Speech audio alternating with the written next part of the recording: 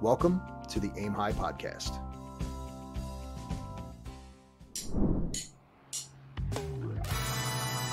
Do you want to get into real estate but don't know where to start? Today, our guest is Jim Lee. Jim is an economist who came to the United States at 11 years old. He started in sales and slowly worked his way into syndication deals by way of being a real estate agent. I promise you by the end of this episode, you'll have a new respect for engineers and how their minds work. Find out all of that and more today, where we provide real estate investors with the tools to achieve generational wealth. Welcome to the Aim High Podcast. I'm your host, Bud Evans. Good day, everyone, and welcome to the Aim High Podcast. Today I am here with Jim Lee. Jim, how are you today? I'm doing well, Bud. Thanks for having me. Oh, it's a pleasure having you. Jim, you and I know each other. We've had a couple of conversations already. Why don't you do me a favor and go ahead and introduce yourself? Sure. Hello, everyone. My name is Jim. I uh, got my degree in economics from UCLA in 2010. Started my career as an inside sales representative at LoopNet and CoStar. From there, I became a realtor, thinking I can find my own deals, and then dabble through the real estate industry. And eventually, I started uh, to syndicate real estate, and now I've invested over 600 units in the past two years, where I've participated in general partner and limited partner. Jim, how exactly did you find yourself in real estate? Like I mentioned earlier, I worked at LoopNet. That, was my first job out of college. LoopNet is basically, for those that don't know, it's basically Zillow for commercial real estate.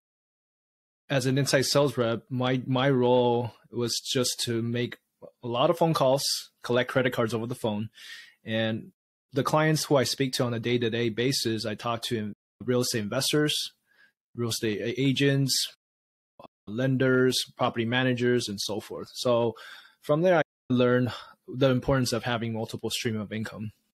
Yeah, man. And what a great place to do it, right? You're networking with the right people if you're dealing with people who are on CoStar and LoopNet already. I know that you eventually got into syndication, but let's talk about your very first deal. What did that look like? Yeah, sure. So while I was working at LoopNet, I had this agent help me find my very first real estate investment deal, which is a two bedroom, one bathroom condo. It's actually a short sale, and it took me a year to close that building. It was uh, it was everything I needed to get myself started. I managed this property from A to Z, run the background check on tenants, find tenants, did all the maintenance myself, which I don't recommend, just to cut costs. Yeah, that that was uh, that was definitely uh, all the experience I needed to pretty much propel me into the my next real estate journey. Awesome, man. I'm just going to say, man, I know if you're listening on the podcast, you're not going to see it, but Jim's face lit up when I asked him about his first deal. I don't know if you're aware of what just happened, dude, but he just like got real bright. So let's turn the tables and say what what was your worst deal? The worst deal I would have to say is my first partnership with other people. We was think we were thinking about running a nursing home. It's called RCFE, Residential Care for Elderly. And basically you purchase there's two components to this type of business. There's the operation, which is managing the elderly, but and then the business part, and then there's the other second component, which is acquiring real estate. And long story short, we bought this property, we converted into make it fit for the elderly, open up the hallways, and just keep all the bathrooms simple with just a rolling shower. And in the end, during lockdown, we decided to close down this business because two it was two against one the two two partners they didn't want to move forward. And it's the only real estate deal i've lost money in that i can think of yeah. So it's it's just something it's just you just have to deal with it when there's other partners involved. Yeah so how did you recover? The how the way how it works is that we convert this house it's a huge five bedroom four bathroom house and like I said, we converted it to to make it fit for the elderly to live.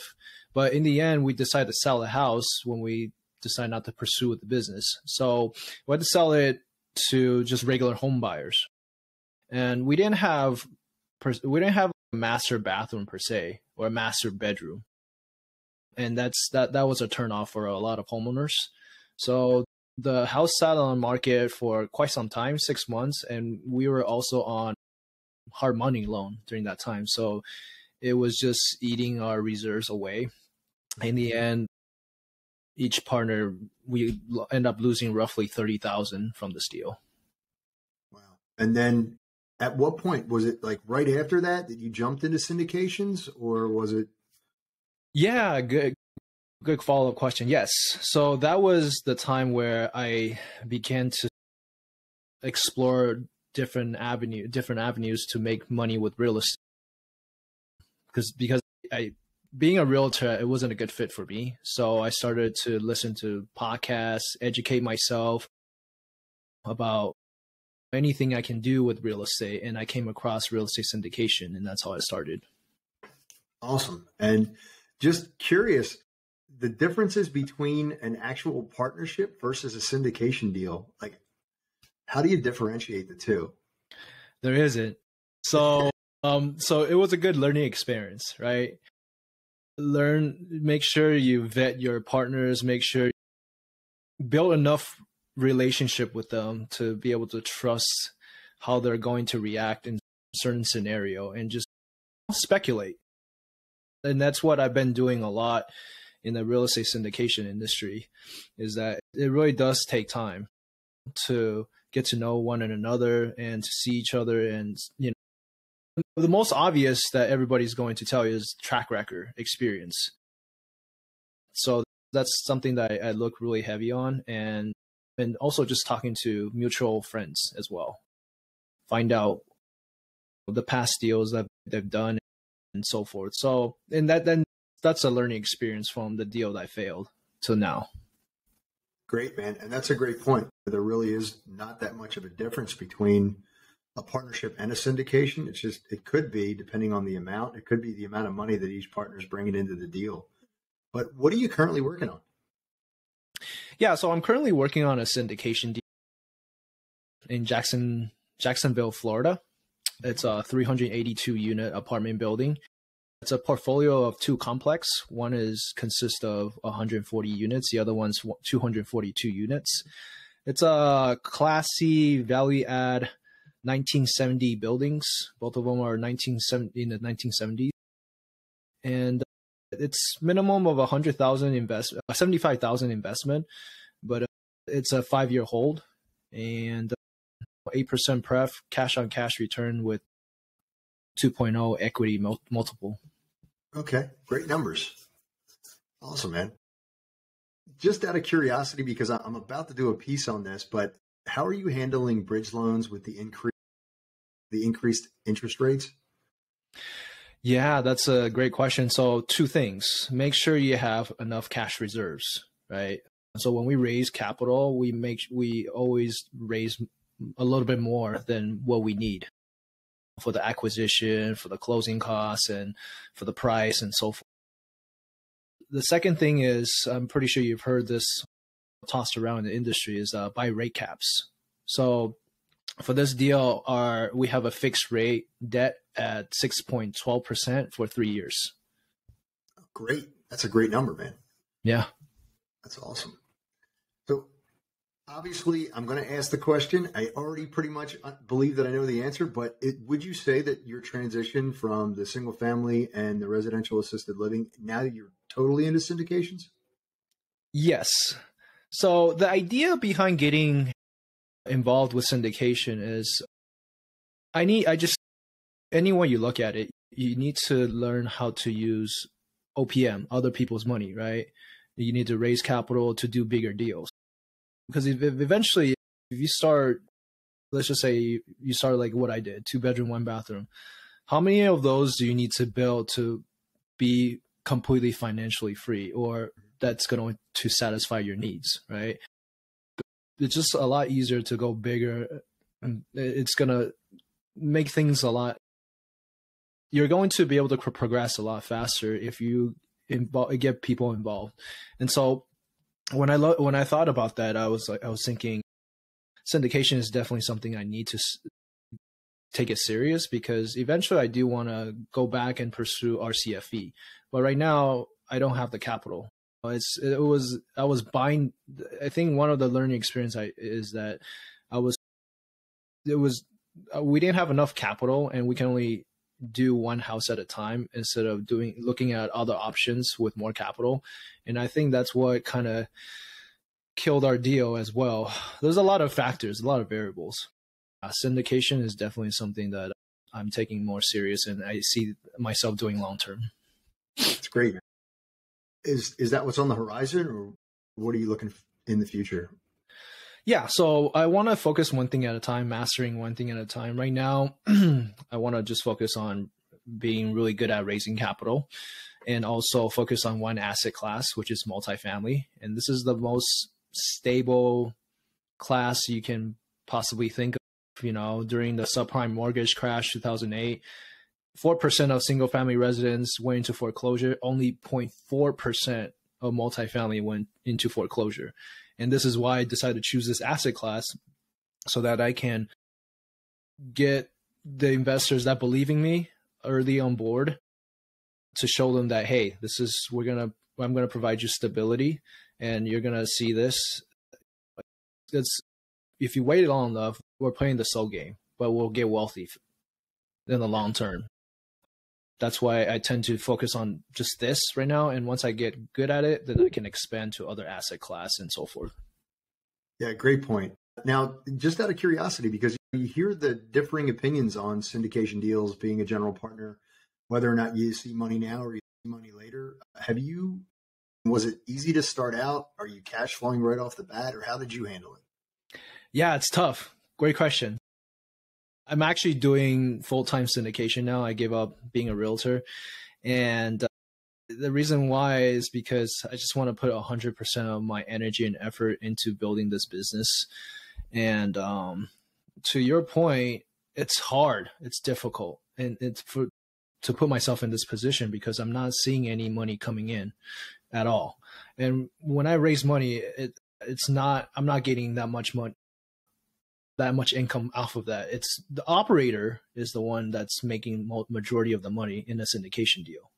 So for now, all I can do is just constantly put myself out there and um, live off of the small condo, the passive income that I've already built, and just try to be very smart about how I spend when it comes to marketing, because it, it, I'm constantly investing in myself by putting myself out there, going to networking events, building my website, and writing ebooks and so, stuff like that. So I have to be very smart about that. And for now, the cash flow isn't great from the syndication I've done because typically on the first year, we use that cash flow to renovate apartments because I target value see value add apartments. So we don't we won't see that distribution until year two or year three once we are able to refinance.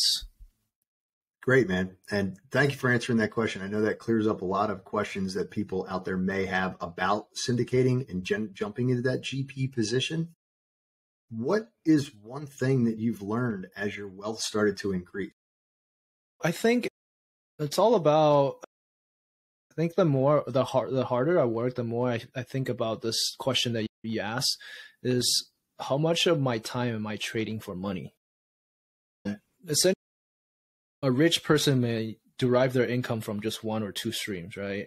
A wealthy person has multiple stream of income, and that's what we're working so hard is to build wealth to to be financially free. But at what point does do I have to stop and think about, okay, am I just using all my time to trade for money? There's got to be a fine line. You have to learn how to balance that. Yeah, that's a great point. There, there comes a time when you start to realize, as you start to increase your wealth, that you know time is not just money. Time is everything. The term "time is money" is more about the person who works for an hourly rate, and that benefits somebody else, not yourself. Good day, high flyers. Are you ready to take your real estate investments sky high? Aim High REI is the perfect Facebook community for you. Get answers from experienced investors, connect with other motivated individuals, and benefit from valuable resources all in one place. If that sounds like something that interests you, join our amazing network today and we'll help elevate your investing journey beyond what you think is possible. Aim High REI is on Facebook. Just click the link down in the show notes. The best part, it's completely free to join. I help new real estate investors overcome the fear of failure and achieve generational wealth through buying rental properties. Go to budevans.com and book a call with me to find out why we guarantee your first rental property. Thanks. Now back to the show. Jim, we're about to go into the four when you're ready. Awesome. Fire it away. Okay, great. So, Jim, these are the same four questions that we ask every guest that can help someone who is new to the space achieve new heights. so, question number one is What do you use to keep yourself motivated?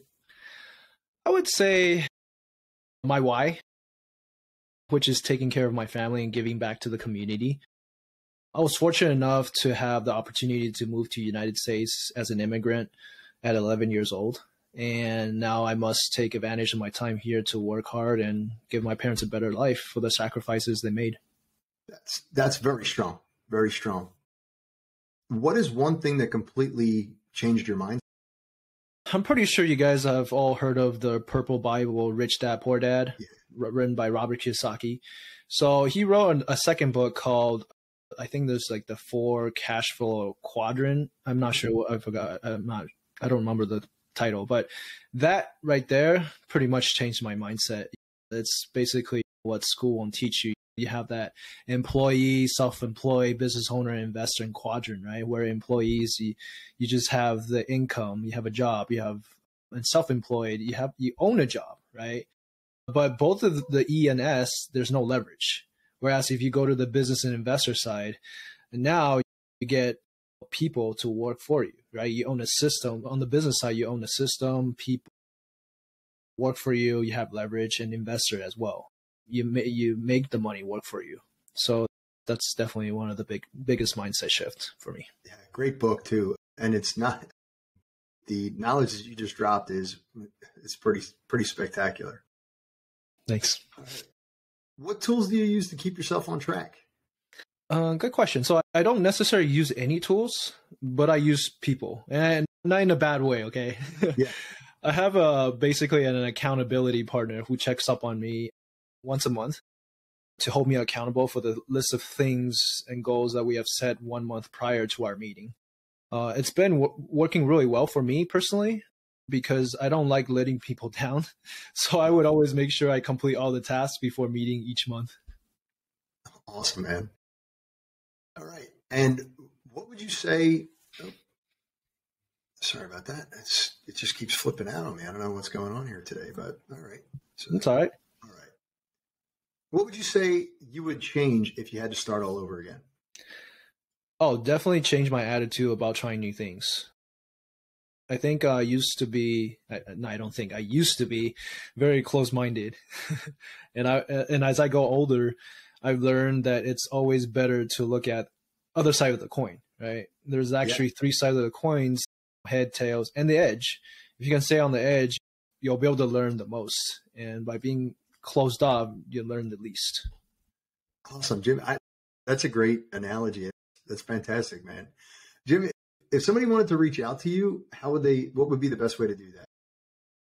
You can check out my website, formosainvesting.com. On there, you're able to also download a free ebook. It basically talks about my personal journey as a real estate investor, all the mistakes I've learned, and how overcoming these obstacles propelled me to become the syndicator. Um, it's, it's a very short read, only 19 pages long. And then you can also find me on any social media links Facebook, Instagram, LinkedIn, Formosa Investing. Great. And we'll make sure that's all in the show notes for you. Jim, thank you very much for your time today. I really do appreciate it some great knowledge that you just dropped on our audience. So I appreciate your time, man. Absolutely. Thanks for having me again, bud. All right, it's a pleasure. And for those of you who are listening or watching, until the next time we meet, aim high. Take care.